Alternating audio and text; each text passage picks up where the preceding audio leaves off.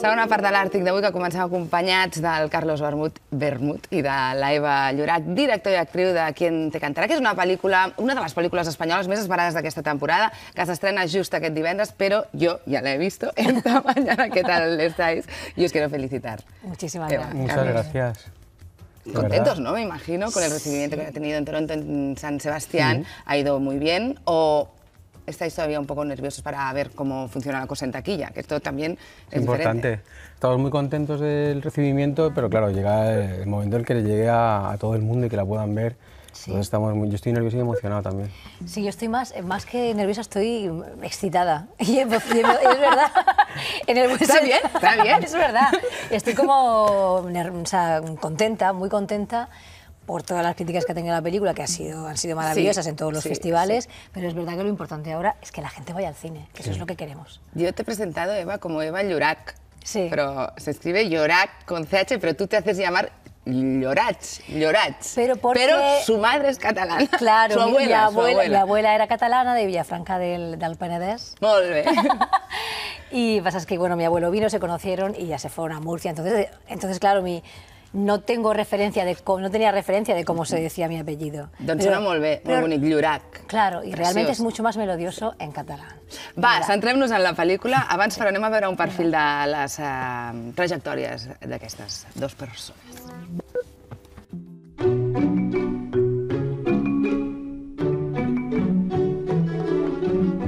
Carlos Bermut és un cineasta que anava per il·lustrador i l'Eva Llorac és una actriu que va estudiar turisme, però en el camí de tots dos es va creuar el setè art. Madrileny i murciana, respectivament, el Carlos es va començar a fer un nom en el món del còmic amb El Bañán Rojo, mentre l'Eva actuava en pel·lícules independents com 11 días de julio. Però el 2011, un superheroi estrany anomenat Diamond Flash els va unir per portar a la pantalla un dels films més inclassificables i més rellevants del cinema espanyol recent. Des de llavors, el Carlos ens ha presentat una Magical Girl i l'Eva ha sovintejat la televisió i el teatre. Però ara s'han tornat a unir com a director i actriu a Quien te cantarà. Per això avui els hem convidat a l'Àrtic, on, si ho necessiten i no tenen ningú més, ja ens arrencarem a cantar nosaltres. Os ¡Qué como muy sorprendidos, ¿no? Con No, porque son este cosas... perfil. Hemos resumido vuestra trayectoria Sí, sacado- en un minuto.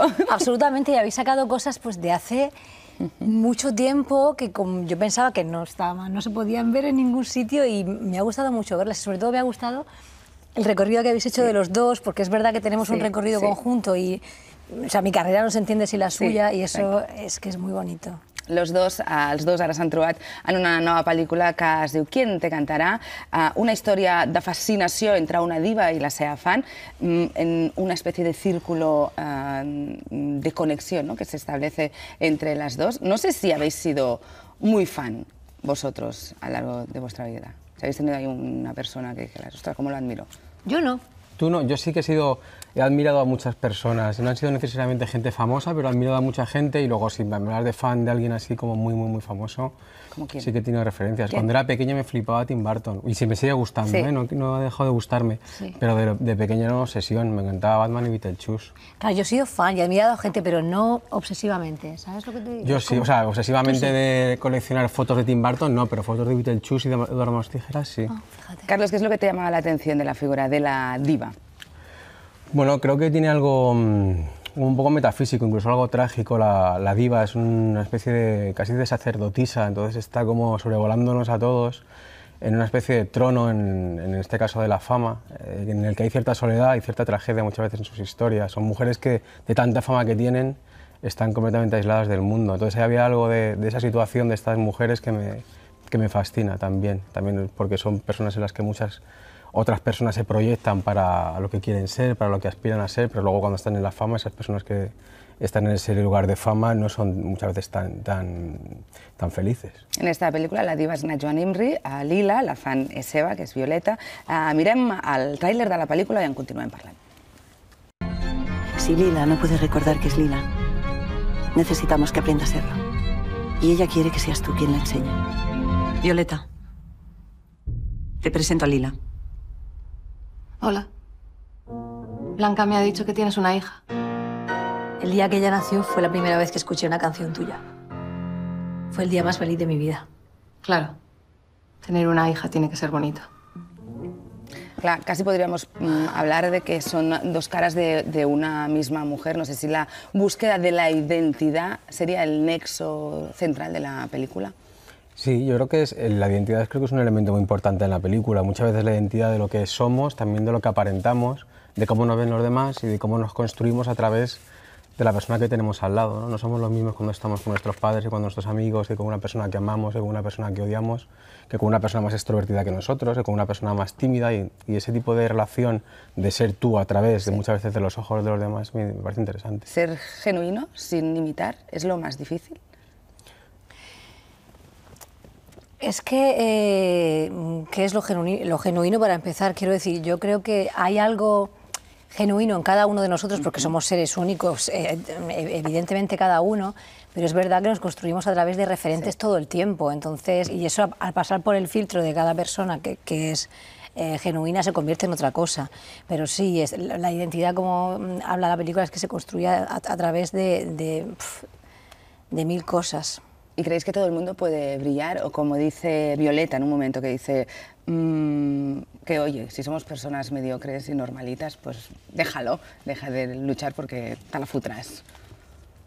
Es que yo creo que existe una especie de obsesión con la fama, con el éxito y con... que a veces no son lo mismo, puede ser famoso y no tener éxito y al revés, pero existe una obsesión con el tema de, de que esta idea de que todos podemos conseguir nuestros sueños si nos lo proponemos. Y yo creo que es falso porque la vida a veces tú has nacido en una familia que no tienes unas facilidades o de repente no, no, dispones de ese talento, de los medios o de lo que sea. Y yo estoy cada vez más a favor de reivindicar que si no consigues tus sueños, Tampoco no pasa, pasa nada. nada. Claro. Es que además Se puede ser muy feliz. Claro, es que además si no, es, todo eso es una trampa Sí. que, que te produce una frustración. Sí. por- eh, horrible, Sí. que es mm, también un poco lo que le pasa a Violeta. Mm, eh, nace su hija, tiene que dejar de cantar y todo eso es, es una cosa que se queda enquistada y es verdad que no sé, es un, es un tema también para hablar porque el tema Sí. de, de acomodarte también en eso, Claro, no es sé, y un no, poco- un tema es, es, delicado. com- es complicado. Otro tema que se trata en la, en la película es la obsesión, que está también muy presente en tu cine en general. ¿Qué te aporta la obsesión como recurso narrativo? Pues como recurso narrativo básicamente hace que un personaje desee algo con muchísima fuerza y eso para un escritor es maravilloso porque tienes un personaje que quiere algo mm, eh, a toda costa y lo más importante cuando estás escribiendo una historia, o, o por lo menos a mí uno de los recursos más importantes es que un personaje quiera algo y que otra cosa se lo impida. Y que pase ya por tienes encima una, y ya de- tienes una historia. Claro, y que pase por encima de lo que sea, ¿no? Sí, eso no, es, la- es, el, es el recorrido del héroe, de la Claro, heroína, claro. o de la heroína. claro. En los actores, Eva, también a la fuerza tiene que haber un punto de obsesión. No sé si te has obsesionado mucho con el personaje de Violeta. Sí. Este personaje que, que reprime tanto sus sentimientos. Sí, absolutamente. La verdad es que sí que me llegué a obsesionar. Esto es que nunca lo he dicho delante de él y me da como pudor. porque Pues no hacemos, hacemos pocas entrevistas juntos y es Es verdad verdad. que me da como pudor decir las cosas delante de él. Pero es verdad que fue un personaje que me, afe- me afectó de una manera especial. ¿Sí? Quiero decir, sí, durante el rodaje yo notaba que me comportaba de una manera eh, que no era la que yo me... O sea, quiero decir, tenía una, una inseguridad, me sentía muy pequeña todo el tiempo, estaba como... Sí, sí, había mucho dolor en mí y es verdad que fue un personaje que me costó... ¿Te lo has sacudido ya? Sí, me, me costó, ¿eh?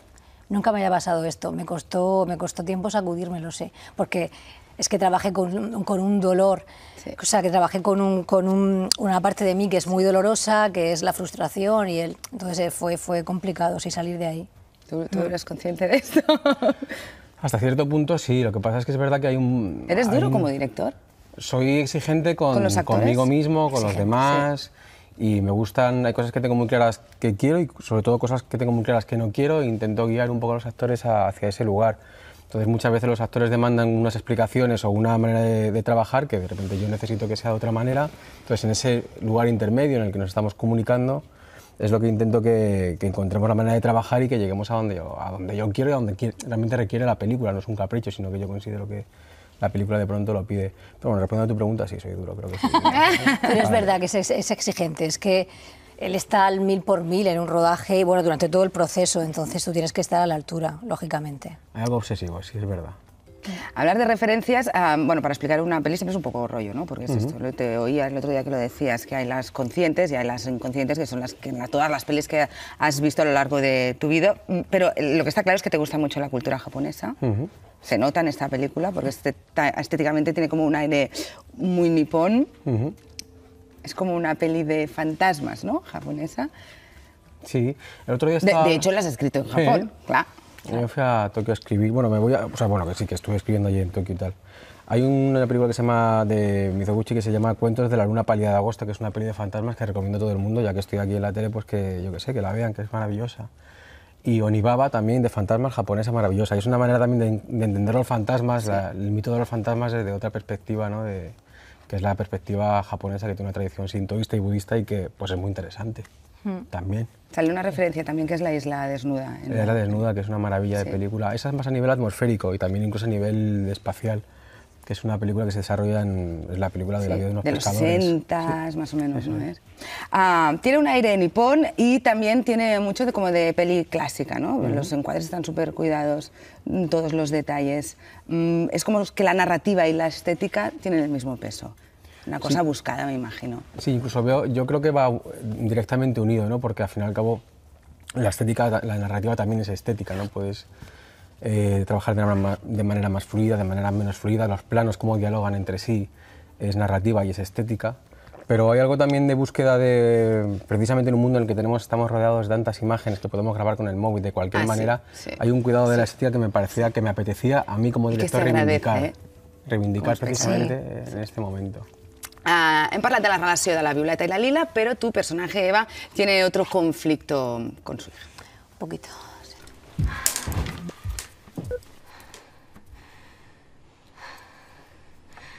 ¿Dónde está el dinero? No empieces con eso. Si empiezo con esto, ¿dónde está el puto dinero? Marta, deja eso, que te vas a hacer daño. ¿No crees que sea capaz? ¿No crees que sea capaz, eh? Marta. Solo por joderte la vida sería capaz. Fíjate lo que te digo. Qué, qué mona.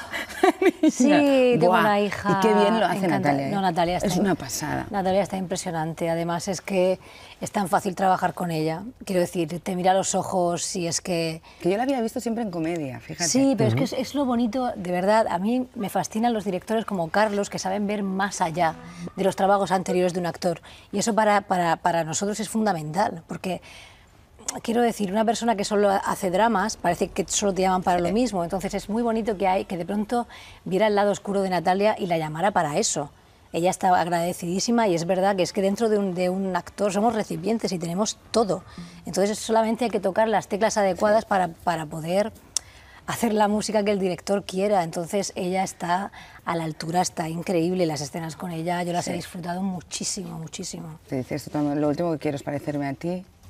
Te dice. Sí, sí, sí, no, no, es que claro, es que es horrible. Es duro. Es, es muy duro para... La relación que tienen entre ellas es, es absolutamente tóxica, de... de, eh, te tengo absolutamente dominada, es una cosa, y, ella está, y Violeta está paralizada absolutamente por el miedo. No puede hacer nada an- ante eso, porque además es tu hija. Y sabes que en el momento que vayas a ir un poquito más allá, va, va a suceder algo terrible. Esto es ficción, pero pasa, porque es que a mí me recuerda mucho al programa ese de Hermano Mayor. Es que fue un referente. Pero, pero no, no, es que fue, un, refer- yo- fue un referente que yo utilicé para trabajar esta Claro. relación, porque yo nunca he tenido, nunca he tenido una relación así. Efectivamente fue ese, ese programa, yo nunca lo había podido ver anteriormente porque me parece terrorífico Sí, y de las sí, cosas más violentas que yo he visto en mi vida. Sí, de adolescentes que no tienen control de los impulsos de ninguna manera. Y eh, para, para hacer este personaje lo, lo tuve que ver. Y es que es horrible, porque la persona a la que se supone que más tienes que querer o a la que más tienes que cuidar es la que más te agrede a todos, los- a todos los niveles. Y es verdad que siempre es porque hay un conflicto no resuelto debajo. Eh, siempre los hijos te culpan de algo. O sea, yo he trabajado cosas que no se ven en la película, en la película por, por los que mi hija me odia de alguna manera o por los que ella considera que me, que me tiene que, agre- que- que agredir de esa, de, esa, de esa forma, pero sí, fue, fue un referente. La, la maternidad es un tema presente también en tu cine. Y creo que no, no eres padre, ¿no? ¿O No. sí? no. ¿Cómo es que te interesa el papel del padre o de la madre? También soy hijo. Entonces, eh, o sea, que al final sí que, eh, o sea, que te- no, no trabajas sobre, en mi caso no es algo así, como lo que sucede en Quien te canta, pero es verdad que me parece que los, a veces los entornos familiares que deberían ser, como decías tú, los lugares más seguros, me parece interesante y también inquietante cuando dejan de serlo y se convierten en el centro de la- del terror, ¿no? Entonces, trabajar en la familia como núcleo del terror es algo que me ha interesado siempre. Parlem de la música de la pel·lícula. Mm, Las canciones son de Najwa. Sí, pues eso es Es casi una película musical, podríamos decir un Sí, poco, ¿verdad? ¿Sabes a qué me recuerda a mí? A las películas de los años 60, en lugar de ser una película musical en el sentido que entendemos de que se van sucediendo números musicales para explicar la película, es más estas películas de Maciel y de Marisol, o de Rafael, o de Elvis, ¿no? que tenían números musicales porque salía el Sí. cantante tal. Entonces me, me gustaba hacer una película así, o me interesaba entender la película como una de esas películas. Y mm, la música, la, la elección de las canciones de Navia surgió porque me di cuenta de que Navia em, cuando le enfrentaba, cuando enfrentaba a Nayo a sus propias canciones, mm, sentía cierto rechazo por parte de Nayo. Como que Nayo quería ser, como muchas actrices, otra cosa. Ya, Entonces ya. cuando noté que Nayo sentía rechazo, por la- no por Nayo, pero por sus canciones, pues me pareció interesante porque en el fondo es lo que le pasa un poco a Lila, ¿no? Entonces aproveché un poco ahí la... Él, siem- él siempre busca, como tú verás, la forma de que estemos cómodas, No. tranquilas. No, no, si es que es maravilloso. Busco la manera de es llegar a- incomodar del punto para... A al punto B. Claro, pero claro. yo quiero que estéis a gusto, tampoco quiero que sufráis. lo sé, pero que es maravilloso eso. Lo digo como... Luego a- yo sufro si lo pasáis mal, ¿eh? Luego me me iba al hotel a llorar. No, es mentira. Mentira, lo sé. ¿Cuánto duró el rodaje?